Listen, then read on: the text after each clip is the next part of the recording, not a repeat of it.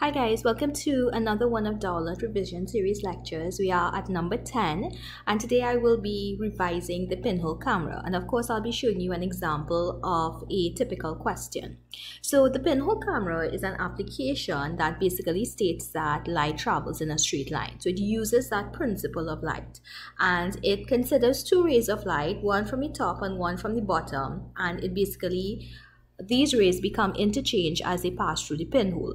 Typically, you would have a real inverted image being formed, and the magnification of that is a ratio of V to U, right? And magnification is a dimensionless quantity, which means that you do not have any unit. Okay, so let's look at the question. Uh, 2 cm tall object. So again, I use my symbol OH to represent object height it is placed a distance x from a pinhole.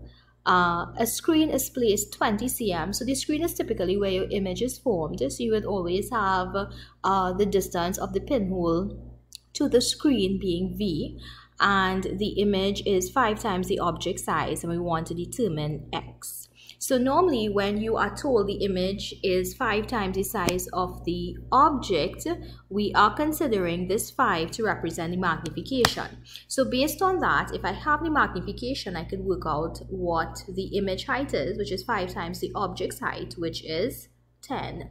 So if I do my diagram, right, it would look similar to this, where I normally represent the uh, pinhole along a horizontal axis and uh, then you can have rays of light. The first ray which would extend from the bottom will pass straight through because remember light travels in a straight line. So this ray will pass straight through the pinhole unbent.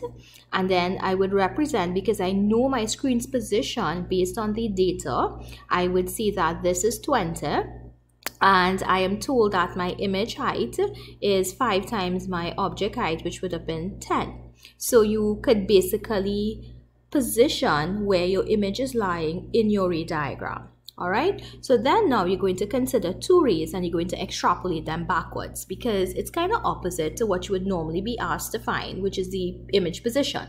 But let's say you want to get the object's position. So what you do is that you extend your ray back one from the top and then one from the bottom and you're going to look and see where the distance between the rays gives you a height of 1 cm.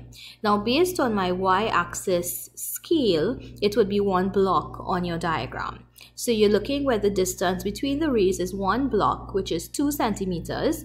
And then you measure now the distance. Well, you can construct your object, which is one block height, 2 cm. And then you're measuring the distance between that object and the pinhole, and that's x.